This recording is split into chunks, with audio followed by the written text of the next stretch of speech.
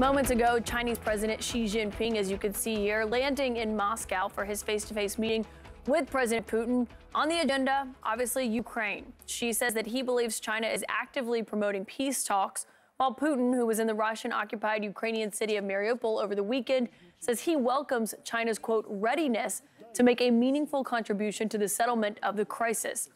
The White House's John Kirby joins us now. Good morning, John. Are you expecting any tangible agreements to come out of this summit with Putin and Xi? Difficult to know, Kaitlan. Uh, obviously, we're not part of these discussions, so uh, we'll see what these two leaders uh, actually come out and say at the end of this. I guess it's going to be a couple of days here of uh, of their meeting and that agenda, so we'll see. Uh, but as you know, we've we've been very very uh, public about any concerns uh, about some sort of a ceasefire announcement right now. We all want to see peace. We all want to see this war end.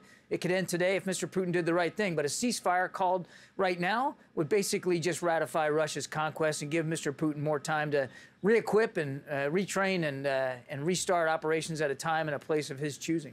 So if they call for a ceasefire, you believe Ukraine should and will reject that?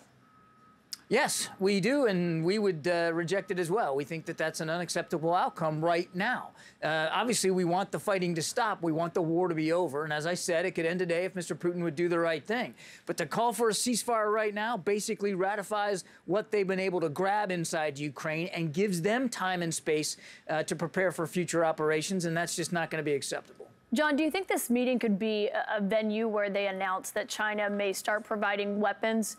To Ukraine or to Russia to use in Ukraine? We don't believe it's in China's best interest to do that. We, we can't uh, we, we can't envision how they would think that it's in, in their best interest to help Mr. Putin continue to slaughter more innocent Ukrainians. So we don't want to see that. Again, we'll, we'll see what these leaders come out with and uh, what they say at the end of these uh, discussions. Uh, we're going to watch this very, very closely. Again, we have communicated privately to the Chinese. We've certainly communicated it publicly uh, that that would not be an outcome that's to the betterment not only of China's and their interests, but certainly to the Ukrainian people and to the whole idea of peace. What does it say to you that after the International Criminal Court issued that arrest warrant for Putin, that A, Xi still showed up in Russia, it clearly did not deter that visit, but also you saw Putin over the weekend in Mariupol, in all of these other cities? I think you have to, to your first question, I think you got to keep this relationship in some sort of context here. Uh, these are two nations who chafe uh, and bristle at the idea of U.S. leadership or U.S. influence around the world. Uh, they don't, they don't like uh, playing by the rules uh, of the, that the world order has in place, uh, and they want to challenge U.S. leadership. This is a marriage of convenience, not of affection. These are two countries that don't have uh, a heck of a whole lot of trust between one another, uh, but they find common cause in pushing back on the West and pushing back on uh, American leadership. So again, we'll see what they decide to do when they come out with this. And as for Mr. Putin's visit to Mariupol, Mariupol is far away from the front lines of the fighting in the south and in the east. Uh, it was a convenient uh, excuse for him uh, to go in advance of Xi's visit to show that he's still the commander in chief, that he's still in charge, and that his military still has uh, uh, occupied territory inside Ukraine. Uh, there's no doubt. Uh, that uh, that he could see for himself, or we would hope that he would see for himself how badly his military is actually doing, where the fighting is actually occurring, and most of that is right up now in the in the Donbass near a town called Bakhmut.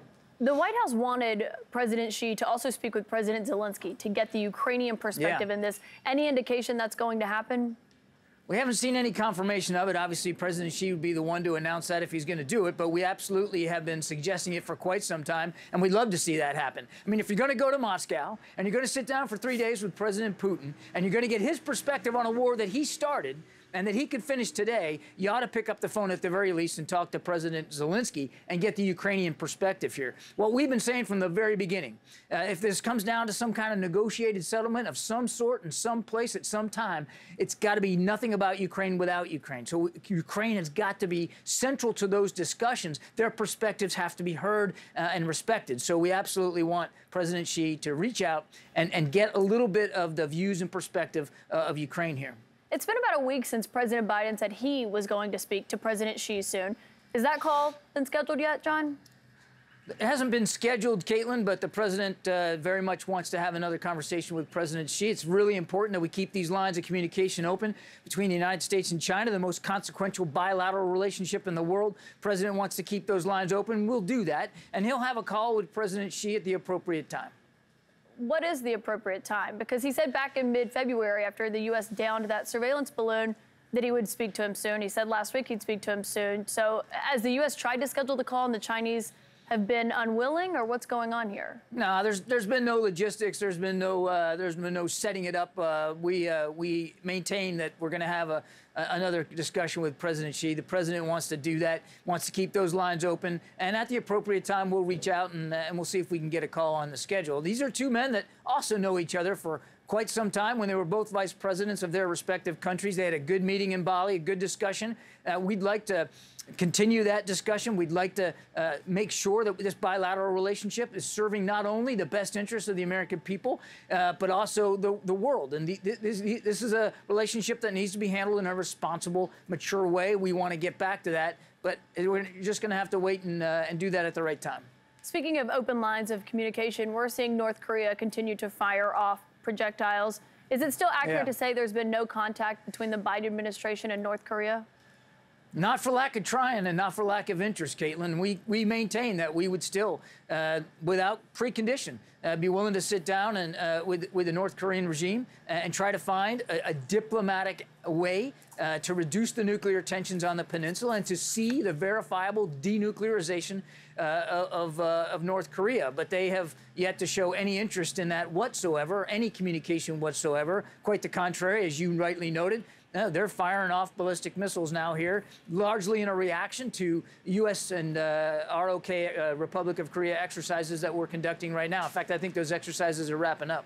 All right, John Kirby, thanks for your time this morning. Joining us now from Taiwan, CNN's senior international correspondent Will Ripley. Well, hello. Um, what should we expect to see today in this meeting between Xi and Putin?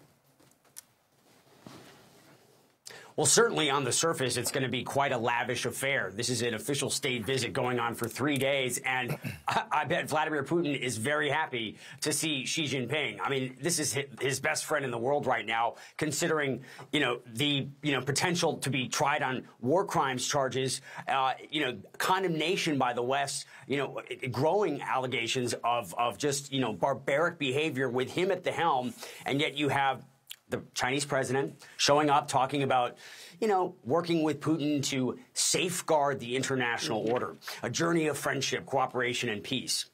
Uh, it, you know, it, it's it's it just really it's so thick. You know, you could slice it with a knife, uh, and yet this is what you know the Russian public, the Chinese public. This is what they're being fed, and this and so this buildup of this this no limits partnership between these two.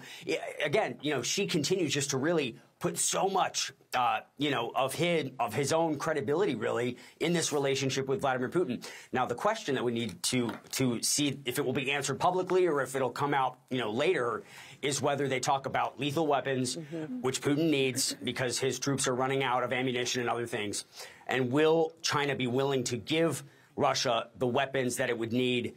Uh, that could actually turn turn things around for them on the ground potentially. This is the big concern, and also this Chinese peace plan that that Xi is going there touting. Uh, basically, Ukraine says this plan needs to begin with a Russian withdrawal, but yeah. what China's calling for is for Russia to basically be given the land that they've already taken. Yeah, and notable, given that John Kirby said earlier, even if China does publicly propose a ceasefire once again, he, they, the U.S. believes Ukraine should reject it, and he said the U.S. will reject it as well. Yeah, it's it's these are two men, two strong men up against the West, and yeah. uh, with each visit, with each you know, each side just digging in their heels, it's really uh, pretty troubling for a lot of people watching mm -hmm. the direction of, of, of these two polar opposites in the world right now. All right, Will Ripley in Taiwan for us this morning. Will, thank you very much. Appreciate you joining us.